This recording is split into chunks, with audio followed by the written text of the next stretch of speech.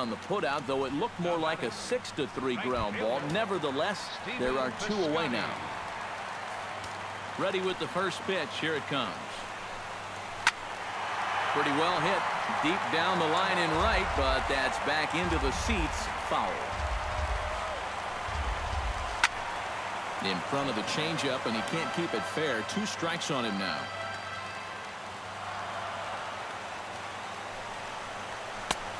Way outside. One and two.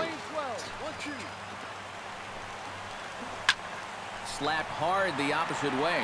Into a slide, and he makes a spectacular play to end the game.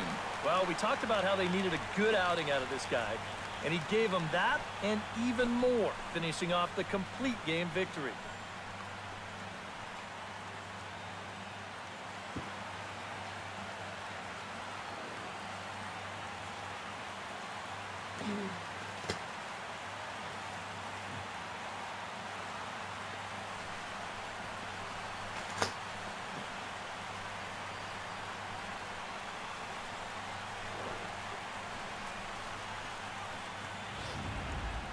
This one, definitely a low-scoring affair as we get one last look at our final line score.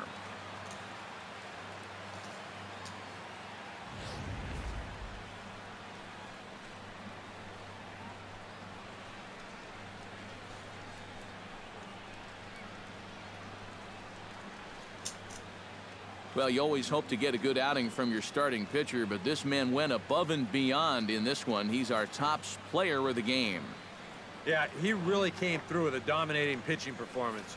You see there, 12 strikeouts, and that doesn't even tell the whole story. That was as good as I've ever seen him pitch.